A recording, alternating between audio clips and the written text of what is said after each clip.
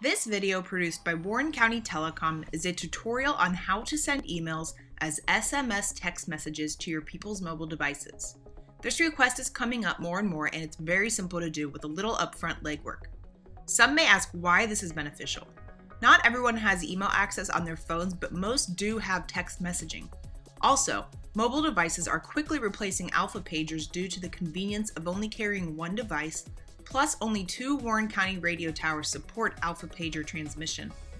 Someone's Alpha Pager may show the message as jumbled if the signal does not come in smoothly. Mobile phones offer the same capability and better range. However, there are some things to consider. You are asking employees to use personal phones for business use. Also, some employees may not carry an unlimited text package, if one at all.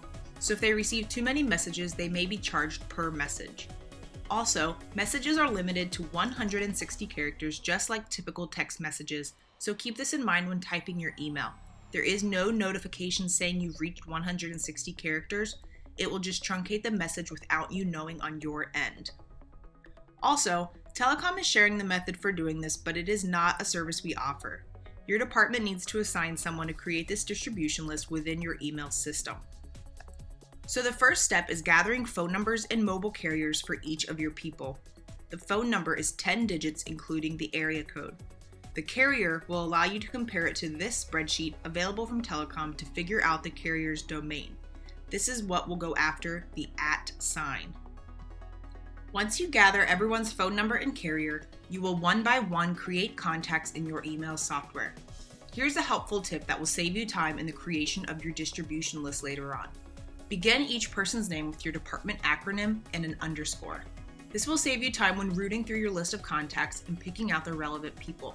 You can search by name and it will filter to only the people that start with your acronym. For example, WCTC for Warren County Telecom. Enter the company and title information if you wish, then jump down to the email section. Here's another helpful hint that Telecom has learned in making their own distribution lists. Enter the mobile device's text address in the email 3 field. Since most people do not have three email addresses, it's safe to bet if you ever see an email 3 entry that it's the person's email to text address. Email should be reserved for people's primary email address, and email 2 for alpha pager addresses for those who still use pagers.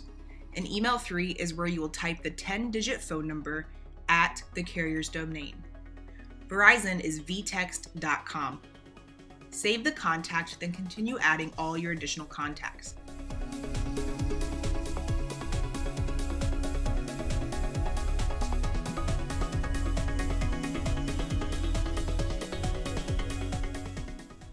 Whoops, did you catch this common mistake? You get so used to tabbing through the fields that we entered his email to text address in the email field instead of email 3. If you catch yourself, no need to retype. Just Control C to copy the address, go to email 3, then Control V to paste, then save. We'll do one more to give us three people.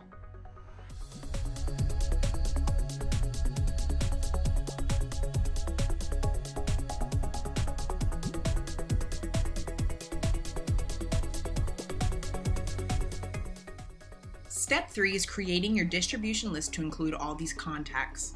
Still in the Contact section, go to the top left corner and select the drop down next to New and choose Distribution List. Title is whatever makes sense to you. We will do our agency's acronym, then all text.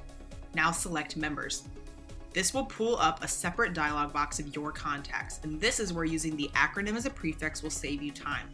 Rather than scrolling through and individually picking people out, simply search by name and enter your acronym. It will instantly take you to the names that include the acronym, Highlight the contacts and add them into the members line, then press OK. Save your distribution list to include the newly added contacts. The final step is sending your email. We'll do a test to ensure my people receive it. We'll just type in a text message and press send.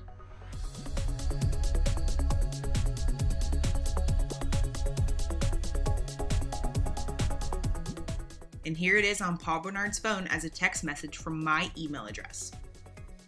So, the final recap of the four steps gather the 10 digit numbers and carrier info from your members, create contacts in Outlook using the two tips of department acronym and email 3, add these contacts to a distribution list, then send your email and ensure they receive it as a text message.